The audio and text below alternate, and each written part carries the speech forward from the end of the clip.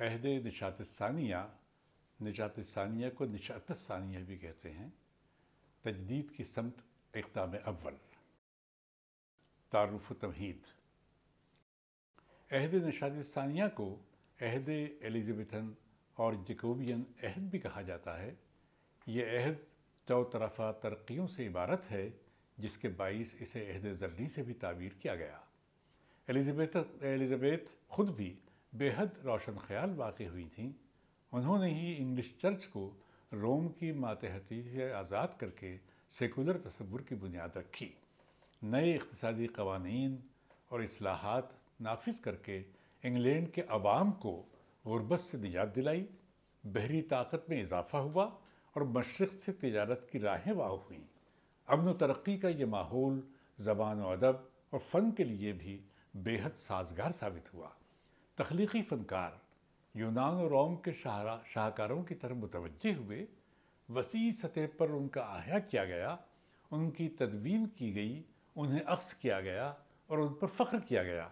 Classics کو اپنی فہم کا حصہ بنانے، اپنے ذوق کی تربیت کرنے اور ادبی عظمت کو سمجھنے کی طرف یہ پہلا قدم تھا۔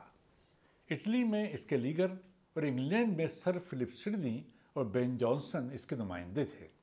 سڈنی نے کلاسیکیت کا علم فراہم کرنے کے ساتھ نتائج اس کیے، بین جانسن نے کلاسیکیت کی پیروی کی اور اپنی بصیرت کو بھی رہنما بنایا۔ باوجود اس کے اپنے عصر کے ادبی محاورے اور مقامی تقاضوں کو بھی نظر میں رکھا، ملٹن جیسا طبعاً اور ذوق کے لحاظ سے کلاسیکی شاعر بھی یہ کہے بغیر نہیں رہا کہ شاعری میں قافیہ پیمائی ایک وحشی دور کی اختراع ہے۔ ملٹن کی کلاسیکیت محض خارجی حید تک محدود تھی، جبکہ لفظوں کو برتنے کا اس کا اپنا اسلوب ہے، جو حد احتساسی اور جوش آگی ہے۔ شیکسپیئر نے بھی ٹریجڈی اور کامیڈی میں جہاں ضروری خیال کیا، انحراف سے کام لیا ہے۔ فرانس میں بوالوں کی محیط آواز کے باوجود، کارنیل اور سینٹ ایورمون ارستو کو ہر دور اور ہر قوم کے لیے معنی خیز تسلیم کر نہیں کرتے۔ کارنیل قدامت کی صرف روح کی پیروی کا قائل تھا۔ نشت ثانیہ میں اس طرح کے ضمنی سوالات بھی اٹھتے رہے، لیکن تاریخ میں ادبی اور تنقیدی سطح پر اس نے جو سرمایہ چھوڑا اور چیزوں کو سمجھنے کی آزادانہ فہم کا جو تصور دیا، روایت کو سمجھنے اور اپنی بصیرتوں کو رہنما بنانے کی جو ترغیب دی، اس کی اہمیت اور معاویت ہر دور کے لیے ہے۔ سبق کا مقصد۔ اس سبق کا مقصد طلبہ کو عہد نشات ثانیہ کے بارے میں درج ذیل علم فراہم کردہ ہے، تاکہ وہ اس کے پس رو اور پیش رو دور کو سامنے رکھ کر تبدیلیوں کا جائزہ لے سکیں۔ کہ کس طرح ایک دور دوسرے دور سے مختلف اپنی راہ کا تعین کرتا ہے۔ اثرات کی نوعیت کیا ہوتی ہے؟ تاریخ تغازی کیا ہوتے ہیں؟ روایت کس طور پر اپنا اثر قائم کرتی ہے اور کس طور پر اس سے گریز کی کوشش کی جاتی ہے؟ طلبہ کے لیے درج ذیل امور قطن نئے ہیں۔ نمبر ایک نشت ثانیہ کو ایلیزبیتھل اور جیکوبین عہد بھی کہتے ہیں۔ نمبر دو، یہ چو طرفہ ترقیوں کا زمانہ ہے۔ نمبر تین، کلاسیکیت کی طرف عمومی دلچسپی نے فروغ پایا۔ نمبر چار، اٹلی سے اس کا آغاز ہوا اور بعد ازاں یورپ کے شمالی ممالک میں یہ ایک تحریک کی طرح پھیل گئی۔ نمبر پانچ، اٹلی میں اس کے لیگر سے ادبی تنقید کا آغاز ہوا۔ نمبر چھ، انگلینڈ میں سر فلپ سڈنی نے ادبی تنقید کی بنیادوں کو مستحکم کیا۔ نمبر سات سڈنی نے کلاسیکیت کا احساس دلایا، لیکن اس ان کی و ان تقلید سے گریز کیا۔ نمبر آٹھ، بین جانسن نے پیروی بھی کی اور اپنی بصیرت کو بھی رہنما بنایا۔ اس سبق سے ہمارے طلبہ درج بالا معلومات سے مستفیض ہوں گے اور نشت ثانیہ کے عہد کی مخصوص شناخت کو سمجھ سکیں گے۔ عہد نشات ثانیہ کی نمایاں خصوصیات۔ مغرب میں تاریخ کا وہ عہد جو ادب، فنون لطیفہ، تہذیب، معاشرت اور ذہن و فکر کے اعتبار سے اپنی ایک الگ تخصیص اور ایک الگ کردار کا حامل ہے، کئی سطحوں پر ترقیوں کا عہد بھی ہے اور کلاسیکی علوم و فنون کے احیاء کا عہد بھی۔ پندرہویں صدی میں جس کا آغاز اٹلی سے ہوتا ہے اور اسی صدی کے آخر میں اپنے نقطۂ عروج پر پہنچتا ہے۔ سولہویں صدی کی نصف آخر تک شمالی یورپ کے تمام ممالک اس کے اثر میں آ جاتے ہیں۔ اٹلی، فرانس اور انگلینڈ میں عہد نشات ثانیہ کی شناخت، نئی قدروں کی تشکیل اور زندگی کی نئی فہم کے ساتھ خصوصیت رکھتی ہے۔ کئی شعبہ زندگی میں نیا تحرک پیدا ہوا۔ انسانی شعور کے ارتقاء کے ساتھ تصورات کی نئے سرے سے شکل سازی کی گئی۔ نئے طریقے سے انہیں مرتب و منظم کیا گیا۔ قدامت کو نئے معنی دیے گئے۔ اور نئے امکانات کی تلاش کی طرف رغبتیں پیدا ہوئیں۔ ادب اور ادب کے دوسرے سیغوں میں غیر معمولی ترقی ہوئی۔ ادبی تنقید جو ابھی تک اپنی کوئی خاص شکل نہیں بنا سکی تھی اور نہ اس کی راہیں متعین تھی نئے اذہان، تھیوری سازی کی طرف رجوع ہوئے۔ انگلینڈ اور فرانس وغیرہ میں اس کا تاحال آغاز بھی نہیں ہوا تھا۔ جو کچھ تھا وہ یونان اور یونان سے زیادہ روم کا سرمایہ تھا جو ان ملکوں کے لیے ایک بڑی تحریک بنا۔ ادب و نقد کے تعلق سے ماضی کی قدر سنجی کی گئی، اس سے روشنی قسم کی گئی، اس کی بنیاد پر نئے امکانات کا سراغ لگایا گیا۔ ارستو اور ہوریس کے ترجمے ہوئے اور ان پر رائے زنی کی گئی۔ ماضی کی بنیاد پر جہاں قدامت کو نئے معنی مہیا کیے گئے تھے، نئے ذہن کی زقند بھرنے کی مسائی کو بھی دلچسپی کی نظر سے دیکھا گیا۔ تخلیقی اعتبار سے اس عہد کی زرخیزی اور ثروت مندی اس نئے ذہن کا نتیجہ ہے جس کے حوصلے اور ارادے بلند تھے اور جس نے بلا خوف و تردد اظہار کو کسی خارجی جبر کا محکوم نہیں بنایا تھا۔ دوسری طرف وہ ادبی تھیوری ساز تھے جو قدیم کے پہلو و پہلو نئے عہد کے تقاضوں، مطالبوں اور ضرورتوں کی بھی خاص فہم رکھتے تھے۔ ان میں ودا منٹرنو ٹیسو، ڈینیلو کیسٹل ویٹرو سرفرسردی ڈوبیلے اور اونسار کی خدمات کو خاص وقت کی نظر سے دیکھا جاتا ہے۔ اس کے لیگر، جس کا تعلق اٹلی سے تھا اور سرفرسردی جس کا تعلق انگلینڈ سے تھا، اس معنی میں ممتاز ہیں۔ کہ اول ذکر نے اٹلی میں ادبی تنقید کی بنیاد رکھی یا اس کا آیا کیا اور سردی نے انگلینڈ میں قدر شعور بندی، مرکزیت اور اعتماد کے ساتھ ادبی تنقید کے شعبے کو قائم کرنے کی پہل کی۔ انگلینڈ میں کولیٹ اراسمس اور وائفس جیسے انسانیت پسندوں نے تاریخ، فلسفہ، خطابت اور شاعری کی طرف خاص توجہ کی۔ خطابت اور شاعری کے بارے میں انہوں نے کوئنٹیلین کے تصورات پر اکتفا کیا۔ اسلوب میں انتخاب الفاظ اور ان کی مواد سے موضوعیت کے قدیم تصور پر تحسین کے عمل کی بنیاد رکھی۔ وہ تخلیقی اظہار، شائستہ اور پروقار ہے جو فنکار سے ہم آہنگ اور موضوع سے مطابقت رکھتا ہو۔ زبان میں درستی و معقولیت اور تکلم میں گہری سنجیدگی، بے ساختگی اور فطری پن نثر کو پرکار و مؤثر بنانے والے امور ہیں۔ گو کے شاعری کی طرح نثر کے فنی اصول نہ تو سخت ہیں اور نہ معین۔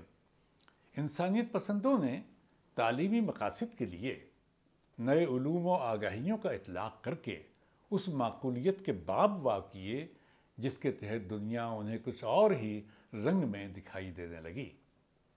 انسان اساس عقیدے کا یہ پہلا مرحلہ تھا۔ مشیلے کے لفظوں میں اس کا مطلب آدمی اور ان تصورات کی دریافت ہے جن کی تشہیر برخارت نے اپنی کتاب دا سویلائزیشن آف دا رنائسا میں کی تھی۔ اسی عمل کا حصہ کلاسی کی قدامت کی بازیافت اور اسی کے پہلو و پہلو آدمی کی طرف دریافت بھی تھا، جسے اس عہد میں عیسائی نظریے کے خلاف قرار دیا گیا۔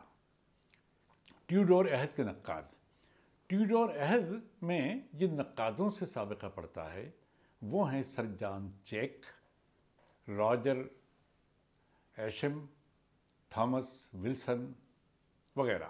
Sir John Cheke Edward six کا تعلیق اور ایک ایک اہم اسکالر اور کیمبرج میں یونانی علم و دانش کا استاد بھی تھا۔ انگریزی نثر میں سادہ اسلوب پر اس کی ترجیح تھی اور اسی ترویج کے لیے وہ کوشاں رہا۔ راجر ایشم نے کیمبرج میں تعلیم پائی تھی۔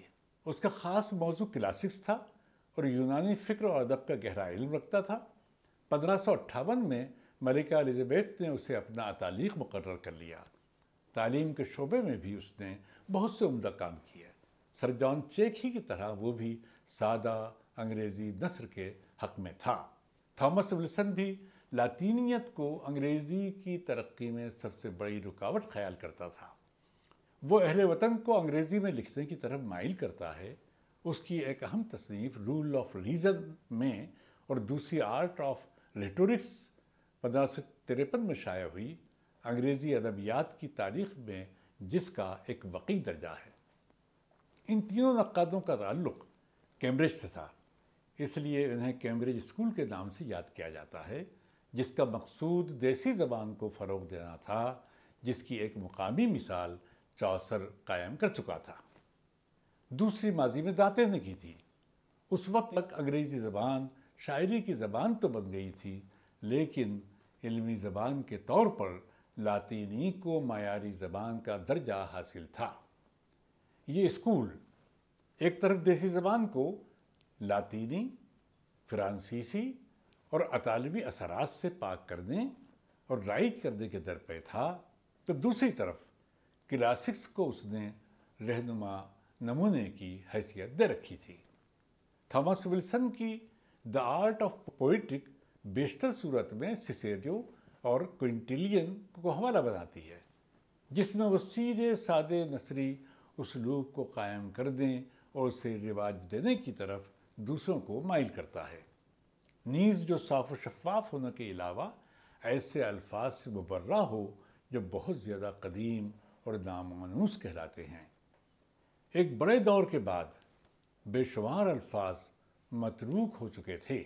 اس چیز کا اطلاق یونان ہی پر نہیں، اٹلی پر بھی ہوتا ہے۔ کراسی کی تصنیفات کی تحقیق و تدوین۔ نشت ثانیہ میں اٹلی ادبی سرگرمیوں کا خاص مرکز تھا۔ شمالی ممالک میں ابھی تک تعلیم راہبوں کی خانقاہوں اور پادریوں کے طبقے تک محدود تھی۔ اس کے برخلاف اٹلی میں کلیسا سے وابستہ عام لوگوں کا ایسا حلقہ بھی تھا جو چرچ کی ناراضگی اور چھٹی صدی اور اس کے بعد بھی جاری رہنے والی جنگوں اور عمومی خرابی حالات کے باوجود قدیم ادب کی فہم و تفہیم میں خصوصاً شوق و شغف رکھتا تھا۔ سب سے پہلے قدیم متون کے اصل نسخوں کی بازیافت کی کوششیں کی گئیں۔ تاحال عربی ترجموں کے ذریعے ہی ارسطو کو سمجھا گیا تھا۔ یونانی کے ان ترجمہ شدہ متون کو لاطینی زبان میں منتقل کیا گیا۔ اس کے بعد ہی یورپ کی دوسری زبانوں میں ترجمے ہوئے۔ اس طرح ترجمہ در ترجمہ متون میں اصل اور بنیادی متون کی روح فنا ہو گئی۔ تیرہویں صدی میں ارسطو کے متون کا براہ راست یونانی سے ترجمہ ہوا۔ لیکن راجر بیکن نے، جو خود یونانی زبان کا ماہر تھا، لاطینی ترجموں کی کوتاہیوں پر اظہار افسوس کیا۔ نشات ثانیہ یعنی چودھویں صدی میں پڑھنے کے لائق متون کی مانگ بڑھ گئی۔ لوگ ارسطو اور دیگر کلاسس کو ان کے صحیح متون سے آگہی حاصل کرنا چاہتے تھے، جبکہ مخطوطات بہت کم دستیاب تھے۔ جو دستیاب تھے، وہ بہت مخدوش اور بعض تو پڑھنے اور سمجھنے کے لائق بھی نہیں تھے۔ اور کاپی نویسوں میں صحیح نقل کرنے کی اہلیت نہ تھی۔ وہ نسخے جن پر یونانی اساتذہ نے محنت کی تھی اور جنہیں اٹلی لایا گیا تھا، وہ بھی مسخ اور تحریف شدہ تھے۔ صحیح مادوں میں کلاسیکی متون کے آیا کا عمل پیٹرارچ اور بوکیشو سے شروع ہوتا ہے۔ دونوں نے اصل یونانی مخطوطات کی تلاش میں انتھک محنت کی۔ ان کے بعد پوپ نکولس اور پوزیو بروسیولینو کی مسائی قابل لحاظ ہیں۔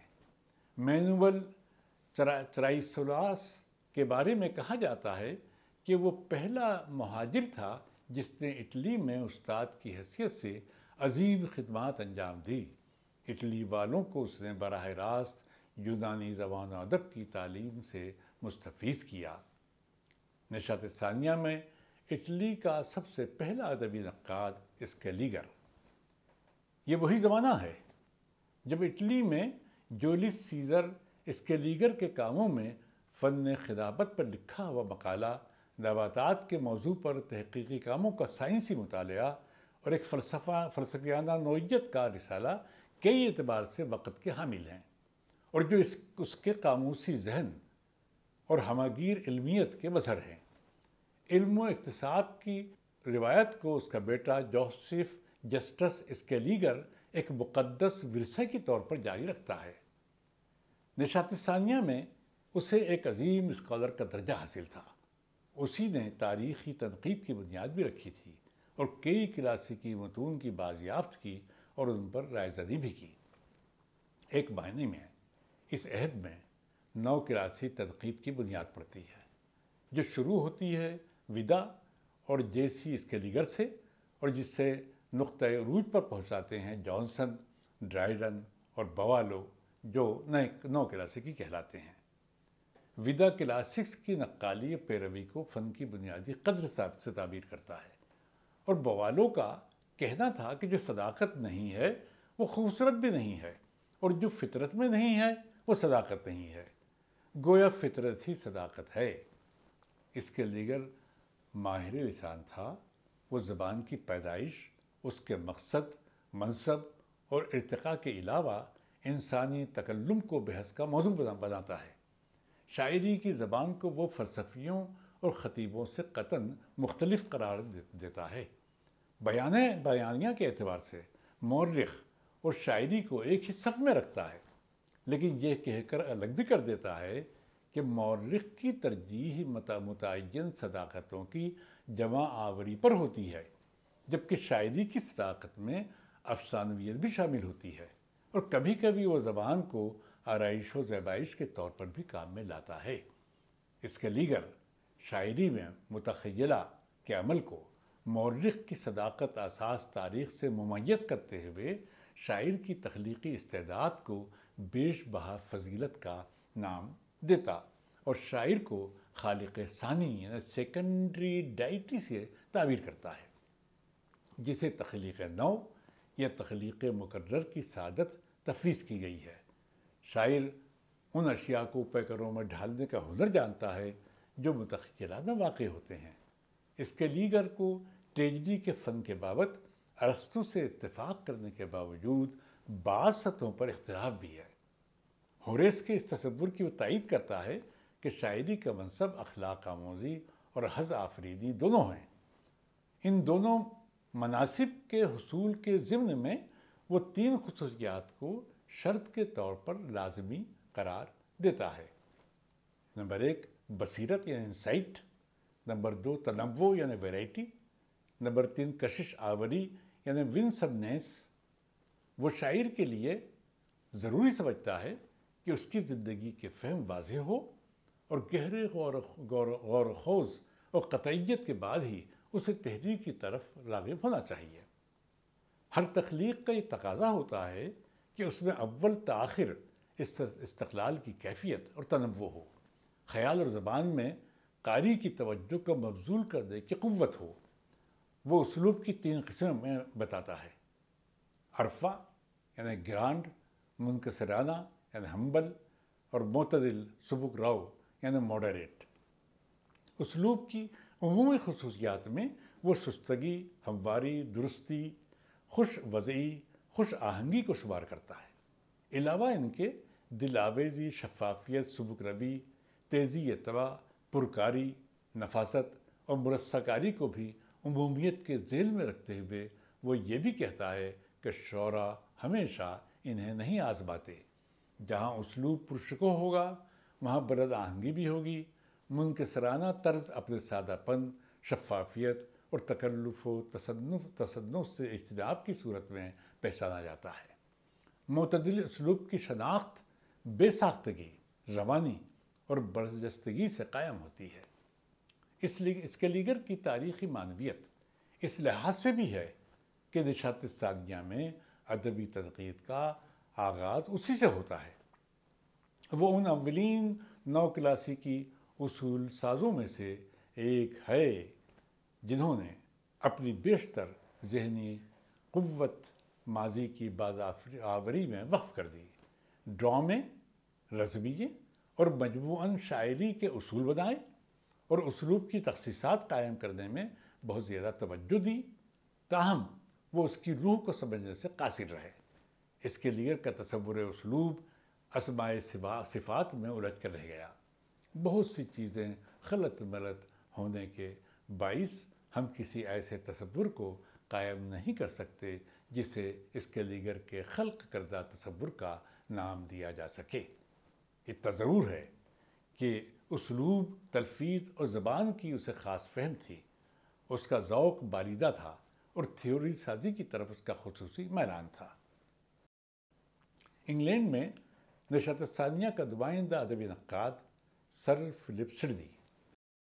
انگلینڈ میں سردی بھی نشت ثانیہ میں کلاسیکی ادبی اصولوں کو بنیاد بناتا اور انگریزی ادب پر ان کا اطلاق کرتا ہے، پھر بھی وہ کئی اعتبار سے اپنی بصیرت کو رہنما بناتا ہے اور ذہنی کشادگی کا ثبوت فراہم کرتا ہے۔ اس کی اپولوجی فار پوئٹری شاعری کے دفاع میں لکھی ہوئی تصنیف ہے۔ جس میں وہ بہت سی چیزیں قدیم ماخذ سے قصب کرتا، ان پر غور و فکر کرتا، ان کا تجزیہ کرتا اور پھر آزادانہ اپنی رائے قائم کرتا ہے۔ انتخاب کی اسے گہری فہم تھی۔ اسی لیے اس نے کبھی کسی ایک مکتب فکر یا کسی ایک تصور کو شرط کے طور پر قبول نہیں کیا۔ مذہبی اور سخت گیر اخلاقی تعلیمات اور بظاہر مقدہ اور درست مگر باباطن پریشان کن اور متشدد دور میں شاعری کو بے وقت کی راگنی مقصد سے آری، ملحدانہ تشہیر و تبلیغ کا ذریعہ سمجھنے والوں کا بہت بڑا حلقہ تھا۔ اسٹیفن گاسن کی تصنیف دا اسکول آف ایویوز اسی حلقے کی نمائندگی کرتی ہے، جس کا مدلل اور مفصل جواب سردی نے دیا اور شاعری کو فنون میں سب سے اعلیٰ درجہ تفویض کیا۔ اس نے اپنے معاصر اور پسربوں کو یہ ترغیب دی کہ ادبی تنقید کے تقاضے کیا ہیں، قدیم کی کیا اہمیت ہے، اسے کس حد تک قبول کیا جا سکتا ہے اور کس طرح اس کی بنیادوں پر ادب کو نئے معنی مہیا کیے جا سکتے ہیں۔ ایروپیگس ایک حلقہ ادب۔ اس دور میں انگریزی شاعری کی اصلاح کے مقصد سے پندرہ سو اناسی میں ایروپیگس نام کے ایک حلقہ ادب کا قیام عمل میں آیا۔ اس کی حیثیت ایک مقتدرہ کی تھی اور جو ایتھنس کے کوہ ایرس ایرس کے نام سے مشتق ہے۔ ایرس ایک استور تھا جس نے اپنی بیٹی کے عاشق ہیلیروتھیوس کا قتل کیا تھا۔ اسی پہاڑ پر واقع عدلیہ میں اس کے مقدمے کی کارروائی ہوئی تھی۔ یہیں اورسٹریس اور کلائی منسٹرا کے قتل کا مقدمہ چلا تھا۔ اسی استوری روایت کی بنیاد پر یہاں کونسل آف اسٹیٹ قائم ہوئی۔ بعد ازاں ڈریکو اور سولون کے دستور العمل میں اس نام کا اطلاق عدلیہ کی اس تنظیم پر کیا جانے لگا، جو اس پہاڑ پر قتل، امن و امان میں خلل ڈالنے والے یا دیگر بد کردار لوگوں کو سزائیں فیصل کرتی تھی۔ اسے ایک اعلیٰ سطح کی عدلیہ کے طور پر دیکھا جاتا تھا۔ برطانوی ایریوپیگس حلقہ ادب کو ایک طور پر نیم سرکاری اختیارات حاصل تھے۔ یہ حلقہ سر فلپ سردی گیبل ہروی اسپینسر اور ایڈورڈ ڈائر جیسے ممتاز شعراء پر مشتمل تھا۔ یہ حلقہ انگریزی شاعری میں یونانی اور لاطینی اوزان و بہور اور بالخصوص بلا قافیہ کلاسی کی چھ رکنی بہر کو رائج کرنا چاہتا تھا۔ ان کا کہنا تھا کہ جو چیز یونان و روم کے لیے بہتر ثابت ہوئی ہے، وہ انگریزی کے لیے بھی بہتر ثابت ہوگی۔ باوجود اس کے سڈنی اسپینسر اور ڈائر نے متداول انگریزی اور انہی میں شاعری کے بہترین نمونے پیش کیے۔ بعض مقامی روایتیں ابھی بھی زنجیر پا بنی ہوئی تھیں۔ سیمول ڈینیل نے متداول بہور میں بڑے عمدہ سونٹ لکھے اور انگریزی نظام اور ان کے دفاع میں ا ڈیفینس آف رائم نام کی کتاب لکھی۔ جبکہ تھامس کیمپس نے انگریزی اوزان میں نظمیں لکھنے کے باوجود کلاسیکی نظام اوزان کا دفاع کیا۔ تقریباً ساٹھ برس کے بعد جب ملٹن نے قافیہ پیمائی کے خلاف آواز بلند کی تو منظرنامہ یکسر بدل گیا۔ اس نے اسے وحشی دور کی ایجاد کا نام دیا۔ لیکن پیراڈائز لاسٹ، پیراڈائز لیگینڈ اور ایلیگرو میں تو اس نے بلا قافیہ نظم کا اہتمام کیا۔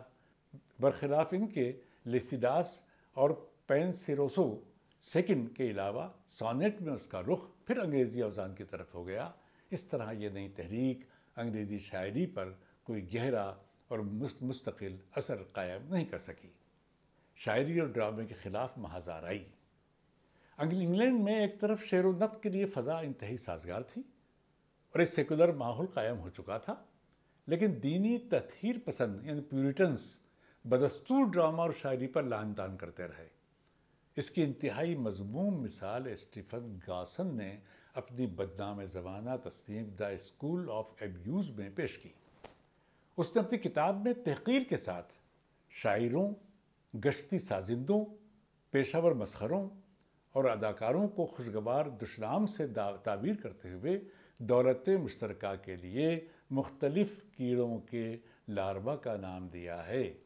افلاطون نے شاعروں کو جھوٹا کہا تھا، لیکن گاسن نے انہیں جھوٹوں کے باپ اور تھیٹر والوں کو وہ سارق کہہ کر خطاب کیا۔ وہ یونان کی بسیار خوری، اٹلی کی اوباشی، اسپین کی غرور مندی، فرانس کی فریبکاری اور ڈسلینڈ کی خرمستی کو مضموم قرار دیتا ہے۔ گاسن کسی ڈرامے یا نظم سے فنی تکمیل کا تقاضا نہیں کرتا، بلکہ اسے اخلاق مند اور اخلاق آموز مرتبے پر فائز دیکھنا چاہتا ہے۔ گوسن کے یہاں بڑبولا پن اور کہیں کہیں گھٹیا پن ڈرایا ہے۔ ورنہ اس کا نظریہ افلاطون ہی کی تائید کرتا ہے۔ فرق اتنا ہے کہ افلاطون گہری سنجیدگی کے ساتھ اپنے اخلاقی نقطۂ نظر کی توضیح کی طرف مائل ہے، جبکہ گاسن زبان درازی اور دشتام ترازی میں تمام حدیں پار کر جاتا ہے۔ سر فلپ سردی کے کلام میں گہری وطانت ضبط و استقلال کی کیفیت ہے۔ وہ ارستو کی مانند استدلال قائم کرنے کی کوشش کرتا ہے۔ ارستوئی اور افلاطونی نظریات میں واضح اور نا واضح ٹکراؤ کی صورتیں اکثر ادبی ادوار میں ملتی ہیں اور جو اس بات کا ثبوت فراہم کرتی ہیں کہ کلاسکس سے انحراف تو کیا جا سکتا ہے، انہیں پوری طرح یا مستقل طور پر مسترد نہیں کیا جا سکتا۔ سر فلپ سردی کے یہاں بھی یہی کشمکش نظر آتی ہے۔ خلاصہ مغرب ادب کی تاریخ میں عہد دشات ثانیہ کو عہد ازرنی کہا جاتا ہے۔ تاریخی اعتبار سے یہ ملکہ الزبیتھ کا دور حکومت ہے۔ انگلینڈ میں سیاسی استحکام پیدا ہو چکا تھا۔ ہر طرف امن و امان تھا۔ مشرق سے تجارتی روابط قائم ہونے اور بحری قوت کے فروغ کے باعث انگلینڈ کے لیے اقتصادی ترقی کے اور کئی راستے کھل گئے تھے۔ کلیسائی مرکزیت کا تلسم ٹوٹ چکا تھا۔ روم سے لا تعلقی کے بعد چرچ کا ایک سیکولر تصور ابھر آیا تھا، ڈرامہ، ادب اور دیگر فنون لطیفہ کے لیے فضا بہت سازگار تھی۔ شیکسپیئر، اسپینسر اور بعد ازاں ملٹن جیسے بڑے شعراء اور سر فلپ سردی اور بین جانسن جیسے نقادوں نے انگلینڈ میں اور اس سے اس کے لیگر نے اٹلی میں نشات ثانیہ کو سربت مند بنانے کی کوشش کی۔ اسی دورانیے میں کیمبرج اسکول کا قیام عمل میں آیا، جس کی نمائندگی سر جان چیک راجر ایشم اور تھامس ولسن کرتے ہیں، جن کا اصرار مقامی زبان کے استعمال پر تھا۔ ایریو پیگس نام کا حلقہ ادب قائم ہوتا ہے، جس کے نمائندے سڈنی، ہاروی، ڈائر اور اسپینسر تھے۔ یہ حلقہ یونانی اور لاطینی بہور و اذان کو رائج کرنا چاہتا تھا۔ انگلینڈ میں چرچ نے سیکولر حیثیت اختیار کر لی تھی، لیکن تطہیر پسندوں یعنی پیوریٹنس کی دشتام ترازیوں میں کوئی کمی نہیں آئی تھی۔ وہ اپنے آپ کو اخلاق پرست کہتے تھے اور اظہار کی آزادیاں بھی انہیں ناپسند تھیں۔ روایت پرستوں کی نمائندگی اسٹیفن گوسن کرتا ہے، جس نے شاعری کی مذمت میں دا اسکول آف ایبیوز نام کی کتاب لکھی تھی اور سڈنی نے دا ایپولوجی آف پوئٹری کے عنوان سے دفاع کیا تھا۔ اول الذکر افلاطون کے نقطۂ نظر کی نمائندگی کرتا ہے، لیکن اپنے رویوں میں وہ بے حد متشدد ہے۔ اور شاعری کو مخرب الاخلاق کہتا ہے، ثانی و ذکر ارستو کے طرز استدلال کا نمائندہ ہے اور فنی تکمیل پر نظر رکھتا ہے۔ ادب کی تاریخ میں یہی دونوں نظریات اکثر ایک دوسرے سے متصادم ہو جاتے ہیں۔ کبھی کوئی ایک سبقت لے جاتا ہے اور کبھی ایک دوسرے کے ساتھ مل کر ایک دوسرے کی تکمیل کرتے ہیں۔